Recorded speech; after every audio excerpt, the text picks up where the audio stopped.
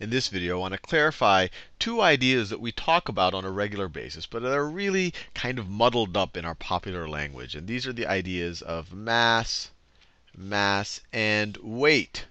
And first, I'll tell you what they are, and then we'll talk about how they are muddled up.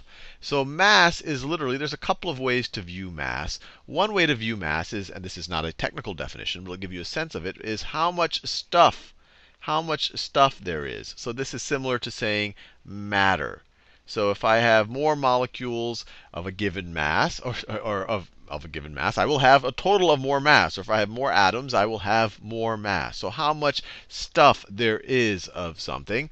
And I want to be careful with this definition right here because there are other things that aren't what would be what we would traditionally associate with matter once we start going into more fancy physics that still will exhibit mass. So another way to to define mass is how does how does something react to a specific force? And we already learned from Newton's second law that if you have a if you have a given force and you have more mass, you'll accelerate less. If you have less mass, you'll accelerate more. So how something responds to force.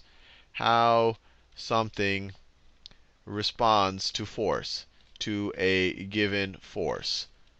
Something with Lower mass will accelerate more for a given force. Something with higher mass will accelerate less.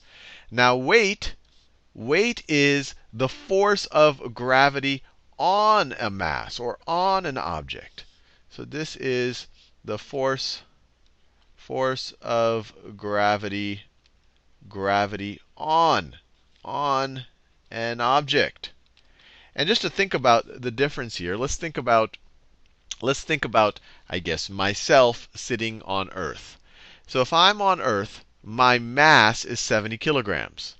My mass, let me do this in a new color. So my mass my mass is 70 kilograms. There's 70 kilograms of stuff that constitute Sal. But my weight is not 70 kilograms. I mean, you'll often hear people say, I weigh 70 kilograms. And that's all right in just conversational usage. But that is not technically correct. Because weight is the force that Earth is pulling down, or I, that I should say, the force of gravity on my mass. And so the, my weight, my weight, let me think about the weight for a second the weight is going to be equal to the is is going to be equal to and the gravitational field at Earth. So let me just I, we did hopefully you've watched the video on gravity or if you haven't, feel free to watch it. But the gravitational attraction between two objects. So the force of gravity between two objects is going to be big G, the universal gravitational constant, times the mass of the first object times the mass let me actually let me do it times the mass of the first object times the mass of the second object times the mass of the second object divided by the distance that separates the two objects squared. And if you're on Earth, and if you take all of this stuff right over here combined, so if you say that this right here is the mass of Earth, mass of Earth, if you say this right here is the distance from the center to the surface of Earth, because that's where I'm sitting right now. So distance, distance from center to surface of Earth, then all of this stuff over here simplifies to simplifies to what's sometimes called as lowercase g. And lowercase g is, and I'm just rounding it here, 9.8 meters per second squared.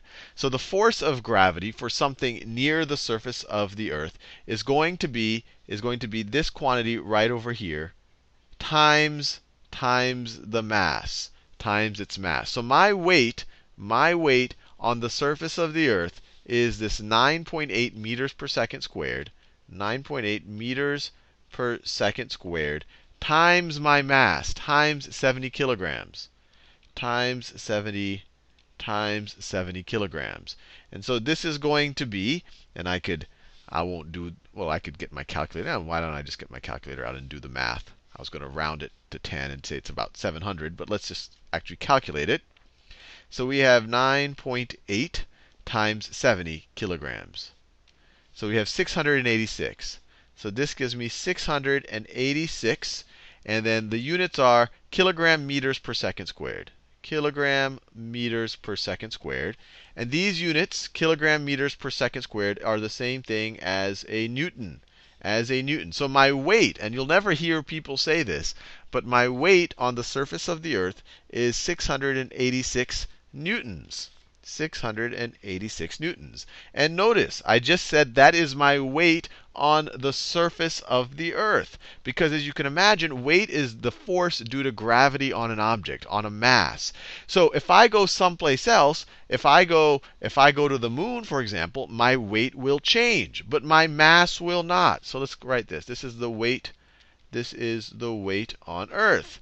If I were to take my weight on the moon, the weight on the moon, weight on the moon, and I haven't looked this up before the video, and you can verify this for me if you like, but I've been told that the gravitational force on the moon, or the gravitational attraction at the surface of the moon, is about one sixth that of the surface of the Earth. So on my weight on the moon will be roughly one sixth, roughly one sixth of my weight on the Earth times 686 newtons.